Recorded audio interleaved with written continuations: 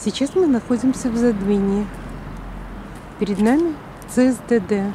В этом здании проходят э, экзамены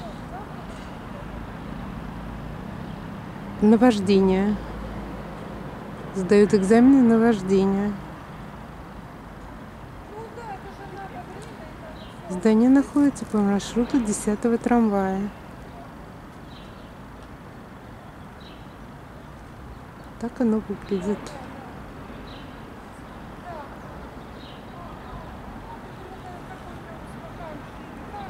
Рядом остановка